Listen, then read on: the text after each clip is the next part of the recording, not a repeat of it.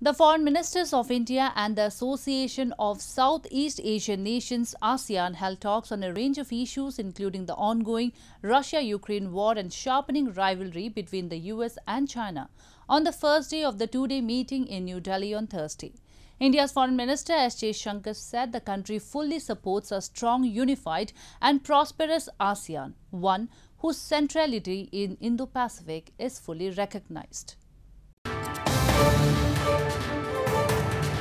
A two-day special ASEAN-India foreign ministers meeting aimed to review relations between the two sides and to forge a response to the impact of the Ukraine crisis on the economy and security of the region began in New Delhi on Thursday. India is hosting the meeting to mark the 30th anniversary of New Delhi's dialogue relations and the 10th anniversary of strategic partnership with ASEAN. In his opening address at the conclave, India's Foreign Minister S. J. Jaishankar said that India fully supports a strong, unified and prosperous ASEAN.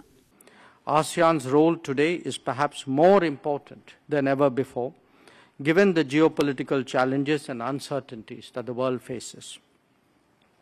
India fully supports a strong, unified and prosperous ASEAN, one whose centrality in the Indo-Pacific is fully recognized. India-ASEAN ties must respond to the world that we confront, Jaishankar said, noting that ASEAN has always stood tall as a beacon of regionalism, multilateralism and globalization.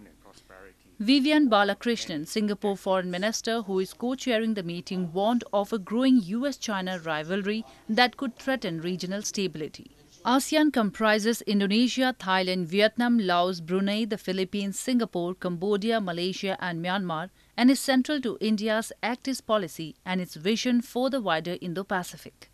Earlier, the foreign ministers of the ASEAN nations called on Prime Minister Narendra Modi and discussed the ongoing cooperation between the two sides.